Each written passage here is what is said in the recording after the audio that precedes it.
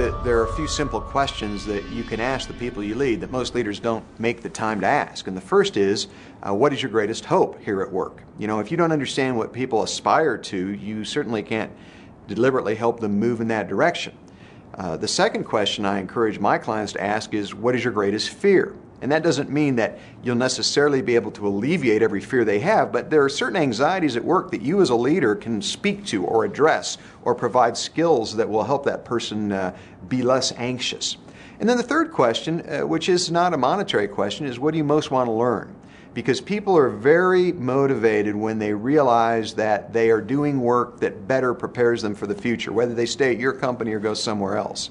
So, hopes, fears, and the, the, the desire for growth are three simple questions. They're not uh, invasive, they're not awkward, that any leader or manager can ask the people on their team to start to give them insights. Now, once they have those insights, the key is to use the information, you know, to act on the information so that they can help those people achieve their hopes or, or alleviate their fears or, or learn those new skills.